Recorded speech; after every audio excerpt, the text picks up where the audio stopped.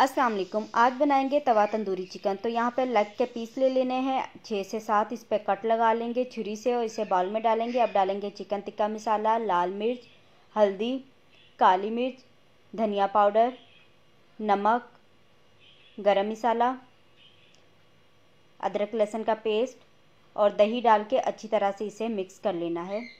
और आधे घंटे के लिए इसे मैरिनेट कर लेना है। अब तवे के ऊपर थोड़ा सा घी लेकर इसके ऊपर चिकन को रख देना है और पंद्रह मिनट के लिए कवर कर देंगे। पंद्रह मिनट के बाद इसकी साइड चेंज करेंगे और सारा पानी खुश्क होने तक इसे दोबारा से पकाएँगे।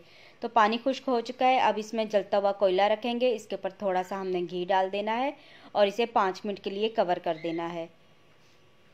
तो पाँच मिनट के बाद बहुत ही मज़ेदार हमारा तवा तंदूरी चिकन बनकर तैयार है। आप ये रेसिपी ज़रूर ट्राई कीजिएगा। अल्लाह हाफिज़।